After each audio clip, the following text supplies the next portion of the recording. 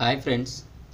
ఈరోజు మనం పాలిటరీలో ఒక ముఖ్యమైన టాపిక్ గురించి అన్ని కాంపిటేటివ్ ఎగ్జామ్ దృష్టిలో పెట్టుకొని మనం డిస్కస్ చేద్దాం ఫ్రెండ్స్. ఆ టాపిక్ పేరు వచ్చి రాష్ట్ర శాసన వ్యవస్థ. దాన్ని మనం రాష్ట్ర ప్రభుత్వం అని కూడా అంటాం. చూడండి ఫ్రెండ్స్ మీరు నా వీడియోస్ని ఫస్ట్ నుండి లాస్ట్ వరకు స్కిప్ చేయకుండా చూస్తేనే మీకు అర్థమవుతుంది ఫ్రెండ్స్. మధ్యలో చూడడం వల్ల మీకు అర్థం కాదు ఫ్రెండ్స్. మీరు నా వీడియోస్ని నచ్చినట్టయితే లైక్ చేయండి షేర్ చేయండి కామెంట్ చేయండి మన ఛానల్ని సబ్స్క్రైబ్ చేయండి ఫ్రెండ్స్ నేను మీకు ముందు ముందు ఇంకా మంచి మంచి వీడియోస్ తయారు చేయడం జరుగుతుంది ఫ్రెండ్స్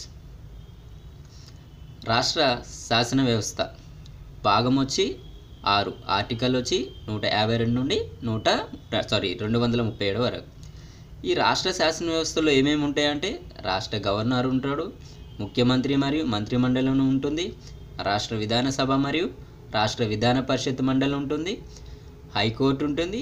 అడ్వకేట్ జనరల్ ఉండడం జరుగుతుంది. రాష్ట్ర గవర్నర్ ఆర్టికల్ వచ్చి నూట యాభై మూడు.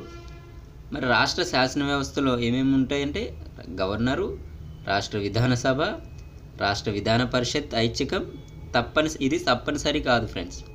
రాష్ట్ర శాసన వ్యవస్థ వచ్చి ఆర్టికల్ వచ్చి నూట యాభై రెండు. రాష్ట్ర గవర్నర్ పదవిని భారత ప్రభుత్వ చట్టం పంతొమ్మిది వందల ముప్పై ఐదు నుంచి గ్రహించడం గ్రహించాం. గవర్నర్ నియామకాన్ని కెనడా రాజ్యాంగం నుండి గ్రహించి భారత ప్రభుత్వంలో పొందుపరిచాం. చూడండి ఫ్రెండ్స్ ఇది చాలా ఎగ్జామ్స్లో అడుగుతున్నారు ఫ్రెండ్స్. దానివల్ల నేను అన్ని ముఖ్యమైన పాయింట్స్ మాత్రమే ప్రిపేర్ చేయడం జరిగింది ఫ్రెండ్స్. గవర్నర్కు ఉండే ఇతర పేర్లు. రాజ్యాంగ నేత రాష్ట్ర కార్యనిర్వాహకుడు రాష్ట్రానికి అధికార ప్రతినిధి రాష్ట్రానికి నామమాత్ర పాలకుడు. రాష్ట్రపతి పాలన సమయంలో మాత్రం గవర్నర్ రాష్ట్రానికి వాస్తవ పాలకుడు. చూడండి ఫ్రెండ్ మీరు ఇక్కడ జాగ్రత్త గమనిస్తే అయితే రాష్ట్రానికి నామమాత్ర పాలకుడు. రాష్ట్రపతి పాలన సమయంలో మాత్రమే గవర్నర్ రాష్ట్రానికి వాస్తవ పాలకుడు రాష్ట్రానికి ప్రథమ పౌరుడు. రాష్ట్ర గవర్నర్ కేంద్ర క్యాబినెట్ సలహా మేరకు రాష్ట్రపతి నియమించబడతాడు. రాష్ట్ర గవర్నర్ పదవీ కాలం వచ్చి ఐదు సంవత్సరాలు.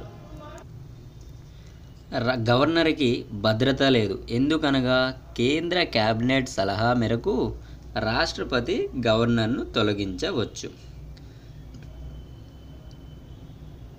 ఒక రాష్ట్ర గవర్నరు ఒకటి కంటే ఎక్కువ రాష్ట్రాలకు పనిచేయవచ్చు ఆ సమయంలో రెండు రాష్ట్రాల జీతాలు ఇస్తాయి. ఉదాహరణ మన నరసింహన్ ఆంధ్రప్రదేశ్కి తెలంగాణకి పనిచేయడం జరుగుతుంది. గవర్నర్ జీతం వచ్చి మూడు లక్షల యాభై వేలు.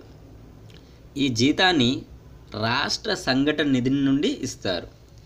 గవర్నర్ రాష్ట్రపతికి జవాబుదారిగా పని చేస్తాడు.